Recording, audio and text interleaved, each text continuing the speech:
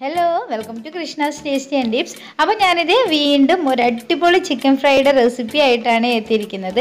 നല്ല ടേസ്റ്റാണ് കേട്ടോ കഴിക്കാനായിട്ട്. ചിക്കന്റെ ഉള്ളിലൊക്കെ മസാല പിടിച്ചിട്ട് അടിപൊളി ടേസ്റ്റാണ് അപ്പോൾ അതിനായിട്ട് ഞാനിവിടെ ഒരു അര കിലോ ചിക്കനാണ് എടുത്തിട്ടുള്ളത്. അതിത് ഇതുപോലെ ചെറിയ പീസസ് ആയി കട്ട് ചെയ്തെടുത്തിട്ടുണ്ട്. അത് നന്നായിട്ട് കഴുകി വൃത്തിയാക്കി വെച്ചിട്ടുള്ളതാണ്. അപ്പോൾ ആദ്യം തന്നെ ഇതിലോട്ട് നമുക്കൊരു കാൽ സ്പൂൺ മഞ്ഞൾപ്പൊടി ഇട്ട് കൊടുക്കാം. ഇനി ഇതിലേക്ക് രണ്ട് സ്പൂൺ മുളക് പൊടിയാണ് ചേർത്ത് കൊടുക്കുന്നത്. ഇതിപ്പോൾ നല്ല എരിവുള്ള മുളക് പൊടിയാണ് കേട്ടോ. ഇനി ഇതിലേക്ക് ഇട്ട് കൊടുക്കുന്നത് ഒരു സ്പൂൺ മല്ലിപ്പൊടിയാണ്.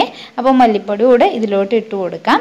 ഇനിയിപ്പോൾ നമുക്കൊരു അര സ്പൂൺ ഗരം മസാല ചേർത്ത് കൊടുക്കാം. ഇനിയിപ്പോൾ ചേർത്ത് കൊടുക്കുന്നത് കുരുമുളക് പൊടിയാണ്. ഇതിപ്പോൾ കുറച്ച് തരിയോട് കൂടെ പൊടിച്ചെടുത്തിട്ടുള്ളതാണ്. അതൊരു മുക്കാൽ സ്പൂണോളം എടുത്തിട്ടുണ്ട്. അതും ഇതിലേക്ക് ഇട്ട് കൊടുത്തിട്ടുണ്ട്. ഇനിയിപ്പോൾ നമുക്ക് ഒരു സ്പൂൺ ഉപ്പ് ചേർത്ത് കൊടുക്കാം. അപ്പോൾ ആവശ്യത്തിനുള്ള ഉപ്പ് ഈ ഒരു സ്പൂൺ മതിയാവുക അതുകൂടെ ഇട്ട് കൊടുത്തിട്ടുണ്ട്.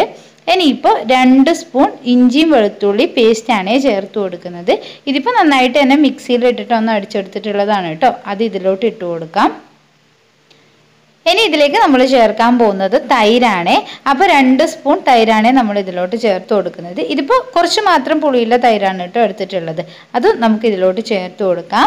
ഇനി നമ്മൾ ഇട്ട് കൊടുക്കാൻ പോകുന്നത് നമ്മുടെ തക്കാളി പ്യൂരിയാണ്.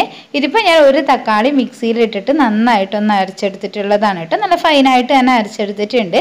അത് നമുക്ക് ഇതിലോട്ട് ഒഴിച്ചു കൊടുക്കാം. ഇനിയിപ്പോൾ നിങ്ങളുടെ കയ്യിൽ ടൊമാറ്റോ സോസ് ഉണ്ടെങ്കിൽ ഈ പ്യൂരിയുടെ പകരം സോസും ചേർത്ത് കൊടുക്കാവുന്നതാണ് കേട്ടോ. അപ്പോൾ ഞാനിത് എല്ലാം തന്നെ ഇതിലോട്ട് ചേർത്ത് കൊടുത്തിട്ടുണ്ട്.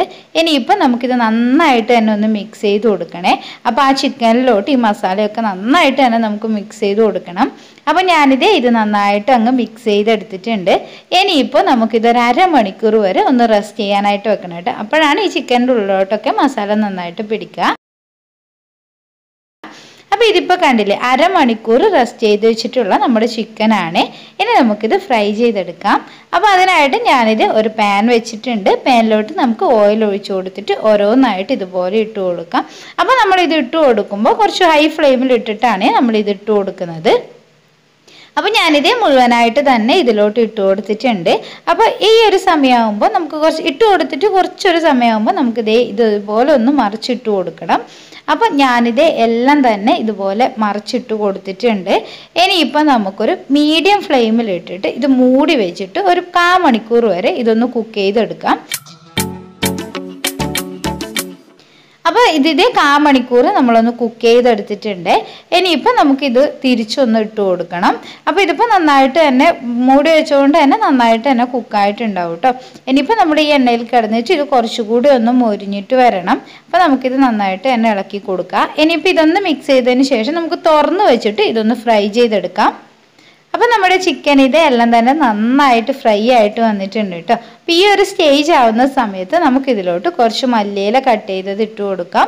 ഇനിയിപ്പോൾ മല്ലിയില കയ്യിലില്ല എന്നുണ്ടെങ്കിൽ നിങ്ങൾക്ക് കറിവേപ്പില ചേർത്ത് കൊടുക്കാം കേട്ടോ അപ്പോൾ ഇതും കൂടെ ഇട്ട് കൊടുത്തിട്ട് നന്നായിട്ട് തന്നെ ഒന്ന് മിക്സ് ചെയ്ത് കൊടുക്കുക അപ്പോൾ മല്ലിയില ഇട്ട് കൊടുത്തതിന് ശേഷം കൂടുതൽ അങ്ങ് നമ്മൾ ഈ ഓയിലിൽ വെക്കേണ്ട ആവശ്യമൊന്നുമില്ല കേട്ടോ നന്നായിട്ട് ഒന്ന് മിക്സ് ചെയ്തെടുത്തതിന് ശേഷം നമുക്ക് ഫ്ലെയിം ഓഫ് ചെയ്യാം. അപ്പോൾ അതേ നമ്മുടെ അടിപൊളിയായിട്ടുള്ള ടേസ്റ്റി ആയിട്ടുള്ള ചിക്കൻ ഫ്രൈ ഇവിടെ റെഡി ആയിട്ടുണ്ട്. വളരെ സിമ്പിൾ അല്ലേ ഉണ്ടാക്കാനായിട്ട്? അതുപോലെ തന്നെ ടേസ്റ്റിന്റെ കാര്യത്തിന് യാതൊരു കോംപ്രമൈസും ഇല്ല കേട്ടോ. അപ്പോൾ നിങ്ങൾക്ക് എന്റെ ഈ വീഡിയോ ഇഷ്ടപ്പെട്ടിട്ടുണ്ടെങ്കിൽ please like comment and share പിന്നെ ആദ്യമായിട്ട് ചാനൽ കാണുന്നവർ സബ്സ്ക്രൈബ് ചെയ്യാൻ മറക്കരുത് കേട്ടോ. ഇതുപോലുള്ള കുഞ്ഞു കുഞ്ഞു നല്ല നല്ല വീഡിയോസൊക്കെ ആയിട്ട് നെക്സ്റ്റ് ഡേ കാണുന്നത് വരെ. Bye from Krishna's tasty and tips